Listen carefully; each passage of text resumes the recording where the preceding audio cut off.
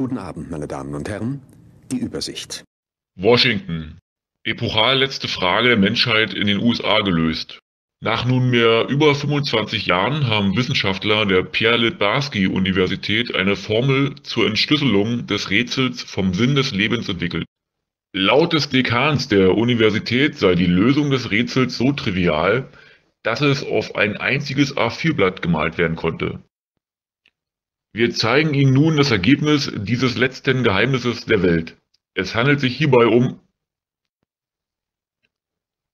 Soeben erreicht uns eine Eilmeldung aus dem Vorhaut von Hamburg. Es ist wohl die sensationellste Namensänderung nach Ryder wird jetzt Trix und Astro TV wird jetzt Astro TV. Wie soeben das Nachrichtenblatt Aldi aktuell berichtete, teilte die im Vorhaut von Hamburg weltbekannte Punkband Vorhaut Hamburg in einer Pressekonferenz mit, dass sie ab sofort ihren Bandnamen von Vorhaut Hamburg in Rive ändere.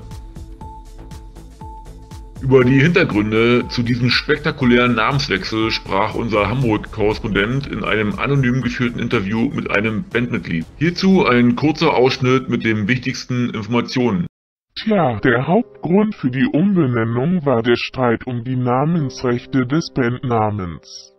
Die Erfinder der Genital-Vorhaut-Pflegecreme Stinke Winky, die Gebrüder Günther und Heinz Vorhaut, klagten gegen uns. Der Anwalt der Brüder gehört uns in seine Begründung schriftlich mit, dass wir den Markennamen des Traditionsunternehmens wohl für die Werden unsere Banden missbrauchten und wortwörtlich also in den Dreck und Schmuddelecke ziehen.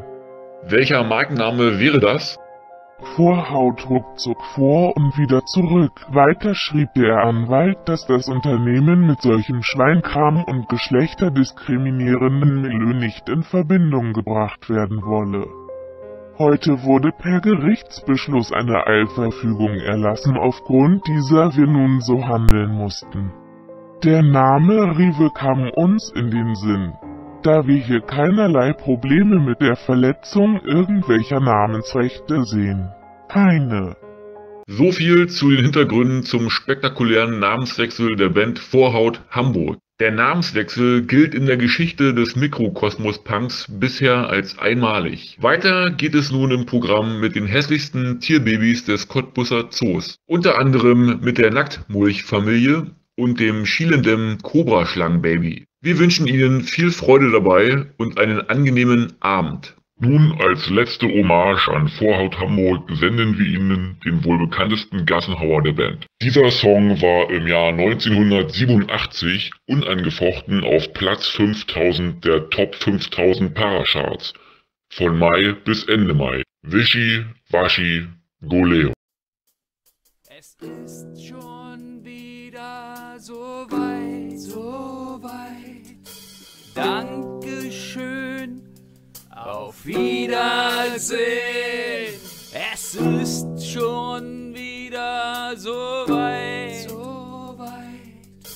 Dankeschön, auf Wieder, auf Wiedersehen.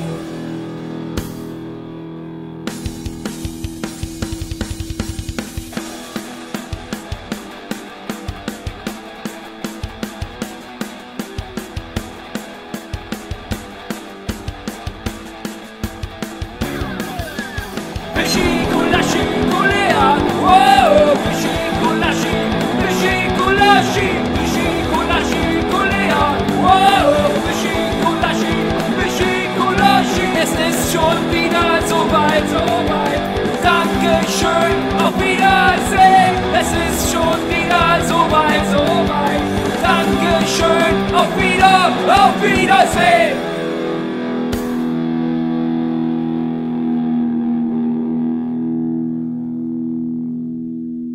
Gehen wir noch hin, dann gehen wir los.